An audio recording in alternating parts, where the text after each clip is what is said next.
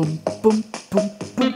Como é que é, meus amigos? Está tudo bem convosco? Se há coisa que eu não gosto é quando eu estou no YouTube e aparece-me um vídeo qualquer que diz que vou ganhar dinheiro online a vender fecheiros digitais ou a fazer uma cena qualquer que não preciso de sair de casa, blá blá blá, uíscas, saquetas, e depois vais a ver e ou é um esquema qualquer esquisito ou é uma cena que diz que tens que preencher inquéritos ou tens que ver vídeos e... Enfim, na vasta maioria dos casos, esses vídeos que existem foram reciclados de outros vídeos e de outros vídeos e de outros vídeos e andam a jogar a uma espécie de telefone estragado em que cada vez mais acrescentam mais desinformação nos vídeos. E o mais importante no meio disto tudo é que estas pessoas que estão a tentar ensinar-te a fazer algo não fizeram essa cena. Só viram um vídeo qualquer e replicaram porque achavam que dava visualizações. Posto isto, aquilo que eu quero fazer hoje é uma espécie de parte 2 do outro vídeo que eu vos expliquei como é que eu comecei um negócio com impressão 3D, só que desta vez é o outro lado da moeda, em que tu para fazeres impressão 3D precisas de modelos 3D. E no meio desta jornada, sem querer, mais uma vez, como tudo que eu fiz até agora foi experimentar, falhar e às vezes acertar, tropecei totalmente por acidente na questão que, se eu puser os modelos que eu faço à venda na internet,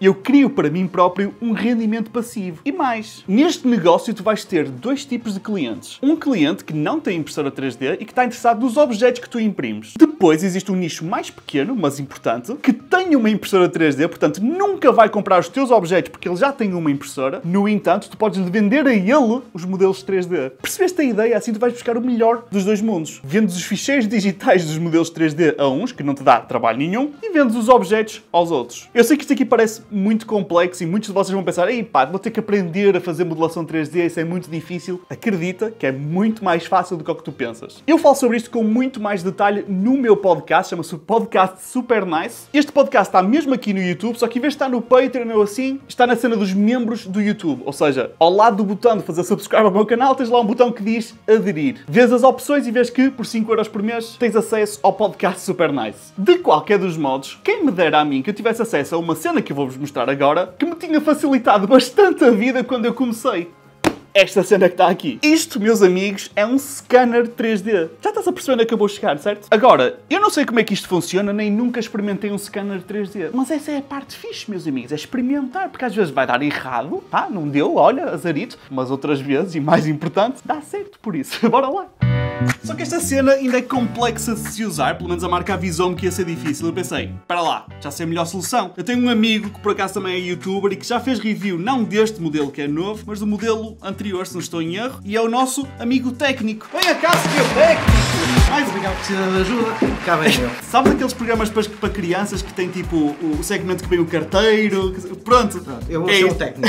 tu és o senhor Passado. técnico. Eu vou arranjar um chapéuzinho para tu pôres. o Carlos fez review do Revel Point Eu- o pop, o primeiro. Pop, o primeiro pop. Este já, já vai no Já vai no terceiro.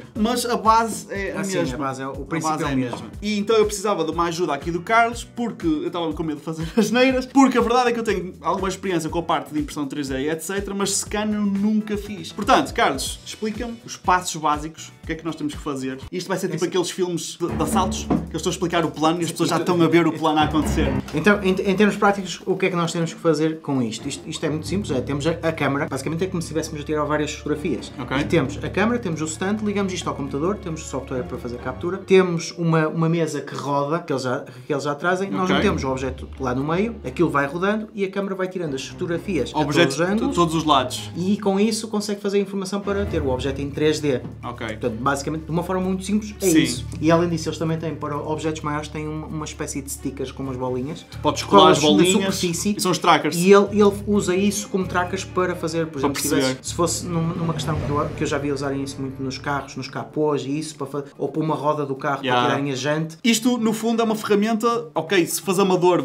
é fácil, parece-me a mim, começar a usar, mas depois tem uma curva Sim, de aprendizagem, não é? Vamos ver se conseguimos fazer um projeto desde o início ao fim, Ao fim. assim à toa, estás a ver, numa tarde, esse é o objetivo. Nossa, bora, siga, siga, siga. Já. Oh, assim? E brincas? Já está! Não, não, para já só está a mostrar o que está a ver. Pronto, ele ali diz que está excellent. Ou seja, estamos a fazer um bom trabalho, certo? Sim, sim. Aqui, aquilo mostra-nos a distância a que está do objeto e se estamos a meter a distância correta para Yeah. conseguir capturar o melhor, o melhor possível o objeto. Ou seja, esta distância está fixe, não é? Pronto, eu ainda tentei pôr aqui um bocadinho o background com o saco do lixo que eles incluem, que é para não ficar ali com as luzes, que eu acho que era capaz de afetar um bocadinho, e acho que ficou fixe assim. Pronto, o próximo passo agora é o quê? Carregar start ali É, para fazer sim, sim. Podíamos era depois fazer alguns ajustes, não é? Queremos high accuracy, ele pode fazer devagarinho, se Sim, lixe, sim. não há pressa, não Depois é? aqui podíamos ter a cena do market tracking. E depois aqui, se fosse um objeto preto, um objeto geral, ou então se fosse para uma cara. Ok, Tentasses ok. digitalizar a cara para fazer um boneco com a tua cara ou coisa assim. E depois se queres fazer a digitalização com a cor real, ou seja, o objeto vai ficar Sim. modelado com a cor, ou se quisesses que ele ficasse Aqui tanto cor. faz porque vamos imprimir em 3D, por isso who cares, não é? É o só que fazer start. Portanto, estás a ver, olha, ele já está aqui a apanhar os pontos. Parece-me que está a apanhar bastante bem. Ora bem, então, ao final de contas, usar o scanner não era assim tão difícil. Se calhar eu até nem precisava da ajuda do Carlos.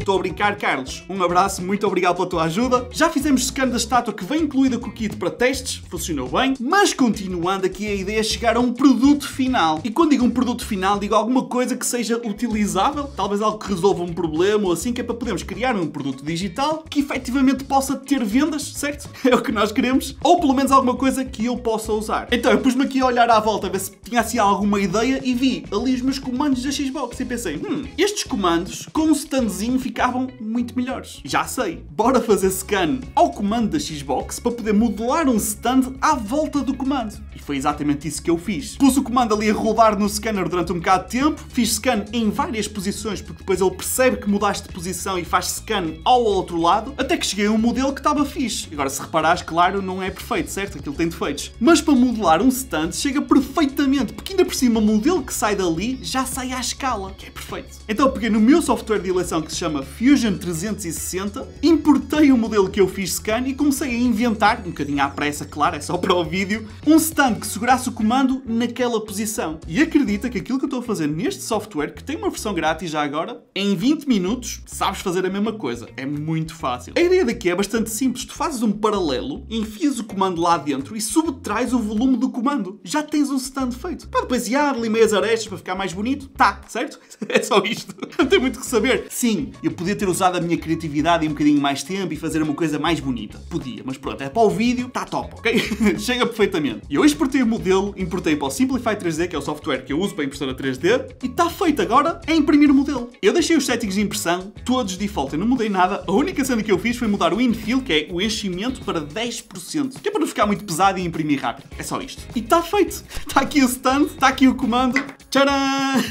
tu notas que ele tem mesmo uma posição onde encaixa, estás a ver? Porque tem mesmo a forma toda do comando, fizemos aquela cena de subtrair e tal. Pronto, agora isto vai ficar muito mais bonito ali. Aliás, até tenho que imprimir outro que eu tenho dois comandos. Posto isto, repara, temos um fecheiro 3D, temos um objeto físico que é um stand de um comando, certo? O que é que eu faria agora? Primeiro ponto, tirava fotografias do stand impresso a ser utilizado, depois ponho um modelo 3D disponível à venda em todas as lojas que aceitarem, ou seja, seja Trader, Turbo Squid, Etsy, em qualquer lado, põe à venda onde deixarem. E não só tens o modelo, mas lá está, tendo ainda por cima fotografias do modelo impresso e ainda podes dizer às pessoas, olha, demora duas horas a imprimir com 10% de enchimento, vai dar muito mais confiança para as pessoas te comprarem o modelo porque sabem que funciona. Não só isso, depois podes ainda vender impressões do stand, se tiveres uma impressora 3D, claro, na Etsy, no eBay, onde tu quiseres. Tens dois produtos para vender a dois tipos de mercados completamente diferentes. Um gera de rendimento passivo, outro gera de rendimento ativo. Eu acho que é altamente. Por hoje é tudo, espero que tenhas gostado deste vídeo. Se gostaste, faz subscribe. Um abraço a todos e até à próxima.